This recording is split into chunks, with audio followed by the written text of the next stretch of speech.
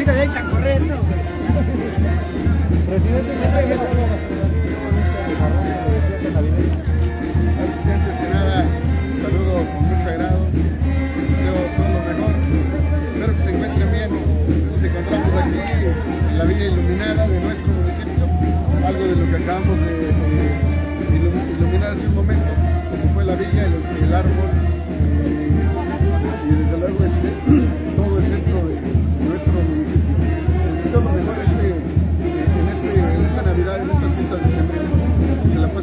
Que Dios les bendiga, que Dios los cuide en bendiciones. Dios los guarde, los proteja y desde luego que se tenga el dama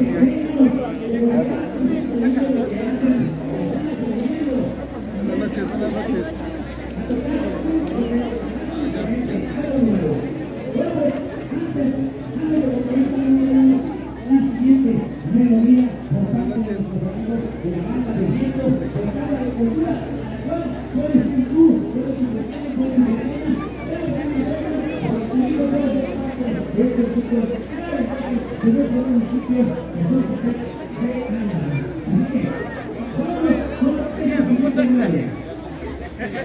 Para que no se pierdan